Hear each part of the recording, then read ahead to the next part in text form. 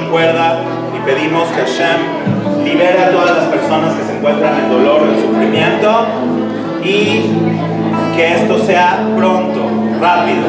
Todo el pueblo judío, todo el pueblo de Israel, de alguna manera estamos, mientras no haya llegado el Mashiach, estamos en tristeza y en sufrimiento, así es de que esta canción es para todos nosotros, hablando de Dios como Amacom, el lugar. El lugar es donde nosotros estamos. Nosotros estamos, ahí está Hashem. Si nosotros estamos conectados, donde sea que estamos nosotros, está Hashem. Y si Hashem está con nosotros, cualquier sufrimiento, cualquier dolor se van a convertir en alegría y en regocijo. Que así sea la voluntad de Hashem. Amén.